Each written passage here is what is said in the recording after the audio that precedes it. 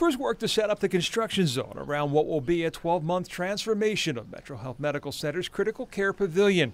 Plans call for the building to grow upwards two floors from its current height, floors that will include the addition of 85 rooms to the intensive care unit, an $82 million project that will be completed by July 1st next year in time for the Republican National Convention. In fact, that was the that was the target and the catalyst for for setting that date. Um, uh, we want to be prepared with with our, our best foot forward, if you will. In January, Metro was designated as the state's only Ebola treatment center. This new space will house their new disease containment unit. So we will we will have one of the the latest versions uh, to be able to provide and to serve in, in that capacity once this is complete. Metro is Cleveland's only level one trauma center for now. University Hospitals announced in May plans to open an Eastside level one trauma center. Jones said the Metro expansion is work that needed to be done regardless of UH's plan and is just the first part of the medical center's overall long term transformation plan. No projects have been identified next, but they just tore down one of the oldest and biggest buildings on site, the North Coast Building. It gives us some, some wiggle room uh, for our further development.